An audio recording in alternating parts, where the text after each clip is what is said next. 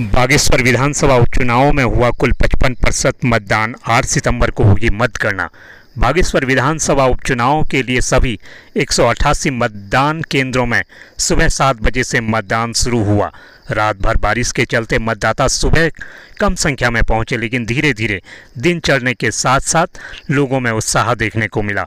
दोपहर एक बजे तक इकतालीस दशमलव आठ प्रतिशत मतदान हुआ। मतदान के लिए युवाओं के साथ साथ बुज़ुर्गों में भी भारी उत्साह देखने को मिला। बागेश्वर उपचुनाव में भाजपा, कांग्रेस समेत अन्य पाँच प्रत्याशियों ने भी चुनाव में हिस्सेदारी ली, जिनके भाग्य का फैसला 8 सितंबर को मतगणना के साथ शुरू होगा। जिला निर्वाचन अधिकारी अनुराधा पाल ने बताया कि उपचुनाव में कुल पचपन दशमलव चार चार प्रतिशत मतदान हुआ। मतदान शांतिपूर्ण संपन्न हुआ।